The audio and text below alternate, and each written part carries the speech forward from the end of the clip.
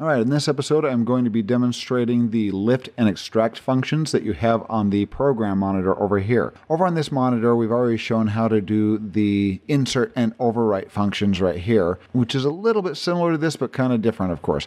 So your insert, of course, when we were talking, let's grab a little clip right here just to kind of demonstrate quickly the insert and overwrite. We're down in our timeline here. I'm going to get between an edit here, and uh, with this, let's make this clip re really, really long. So watch what happens. With this long clip, as I hit period to overwrite, watch what it does. It eats into everything in its path. I'm going to undo that and I'm going to show you insert. If you hit insert, which is comma instead of period for your shortcut, comma is going to insert that and shove everything else down. It doesn't eat everything in its path. Now, with lift and extract here, the shortcuts for that, by the way, are semicolon for lift and extract is the quotation mark right next to the semicolon, to the right of the semicolon to use these functions properly, you need to do in-points and out-points inside your timeline. We showed you how to do in-points and out-points inside of your source monitor, but this is going to be specifically in your timeline. I'm going to hit Shift 3, and we're going to ex extract a portion of a scene. Let's go to the end of this right here. Let's go to this part where he opens up the newspaper right there. And say we want to have this part where he opens up the newspaper and we want to cut that little portion right out of there. What we can do is we can, on our timeline, we can use our shortcuts I and O. Uh, let's get this to the beginning where we want to start. Right there before he opens up the newspaper, hit I for in point and we play through it. O for out point. Now lift and extract can actually have power over this uh, in and out point inside of your timeline. If you hit lift, or your semicolon, watch what it does.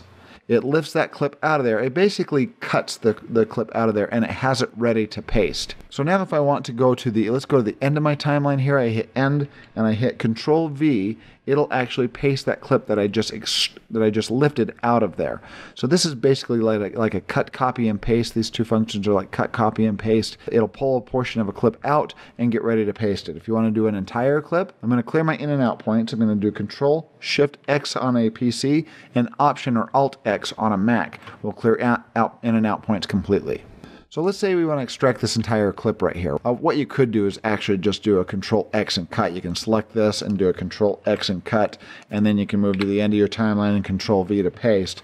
But just to kind of fully demonstrate how this works here, the lift and extract, you would have to do I for in point, arrow down, and notice this is one frame past. This is on the next frame of the, of, it's on the first frame of the next clip. So I'd have to arrow back one frame, out point, it's going to take that entire clip now, and I'm going to do lift.